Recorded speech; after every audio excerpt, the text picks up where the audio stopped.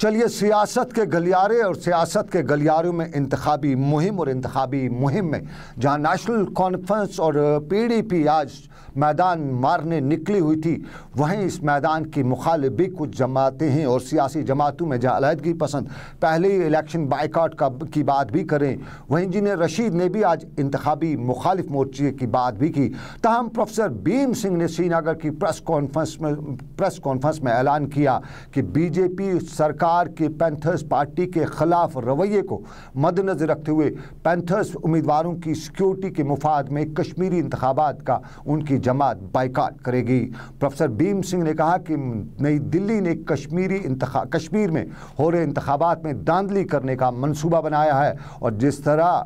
नई दिल्ली ने उत्तराखंड, उत्तर प्रदेश और दूसरे असम्बली इंतबात में इंतबों में दांधली की, उसी तरह बीजेपी कश्मीर में भी, नई दिल्ली बाकौल उनके कश्मीर में भी इन इंतबात में दांधली करेगी, इसलिए वो आइंदा लोकसभा इंतबात का वादी कश्मीर में मुकम्मल तौर पर बाइकआउट करेंगे ताकि इन सर इन पॉलिसियों का पर्दाफाश हो सके।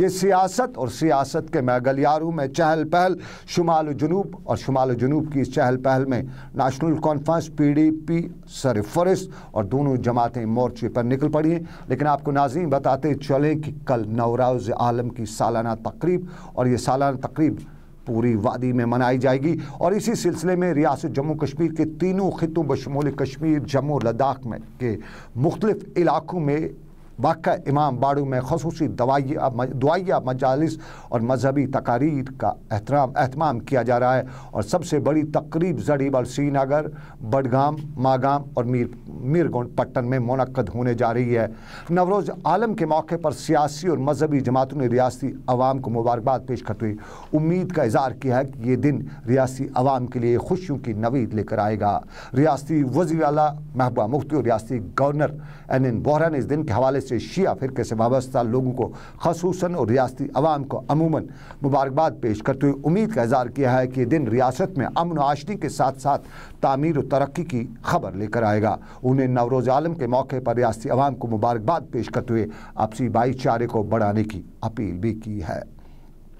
कश्मीर में अपील तो जम्मू में लोग परेशान और जम्मू में तुलबा परेशान। खत पीर पंचाल से तालीम हासिल करने के लिए जम्मू जा गए तलबा का इल्ज़ाम है कि जम्मू पुलिस उनके साथ ालिमाना रवैया अख्तियार किए हुए मुख्तलिफ़ हीलों और बहानों से उन्हें परेशान करती है। राजौरी की तलबा ने आज पुलिस के इस रवैया, मुबैना रवैये के खिलाफ एहतजाजी मुजाहरे करते हुए बताया कि जम्मू पुलिस यूनिवर्सिटी में जेर तालीम खत्े से ताल्लुक़ रखने वाले तलबा को बार बार परेशान करती है और उन्होंने इल्ज़ाम भी लगाया कि इन नौजवानों को जुल्म जबर की बैंड चढ़ाकर राह रास्त से भटकाने की जम्मू पुलिस साजिशें कर रही है। और ये साजिशें पूरी पुलिस नहीं, बल्कि इस पुलिस में मौजूद कुछ काली बेड़े हैं और ये वो किसी सियासी महरिकात की वजह से कर रही है। इन तलबाओं ने इल्ज़ाम आयद किया कि जम्मू यूनिवर्सिटी के वाइस चांसलर से मांग की गई कि वो पुलिस के इस रवैये का नोटिस लें, लेकिन मामला उठाया नहीं गया। और वहीं तुलबा ने अब director general police SP Vaid से मांग की है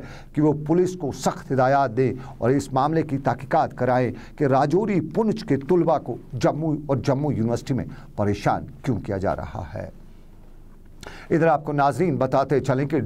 वाडूरा सोपोर में सड़क एक हादसे में आज 25 अफराद जख्मी हुए हैं। बताया जाता है कि सोपोर से हंदवाड़ा की तरफ़ जाने वाली एक मिनी बस को वाडूरा के नज़दीक उस वक्त हादसा पेश आया, जब तेज़ रफ्तार मिनी बस ड्राइवर के काबू से बाहर होकर सड़क से लुढ़क गई, जिसके नतीजे में 25 अफराद जख्मी हुए। जख्मियों को इलाज मुआवजे के लिए सब डिस्ट्रिक्ट अस्पताल मुंतकिल किया गया, जहाँ से कुछ अफराद को श्रीनगर भी मुंतकिल किया गया है। और ख़बर हज की पूरे मुल्क के साथ साथ वादी में भी हज पर जाने वाले आजमीन के नामों की कुरानंदाजी आज अमल में लाई गई और जिसमें सात हज़ार नौ सौ साठ खुश नसीब आजमीन के नाम आज मंतखब हुए।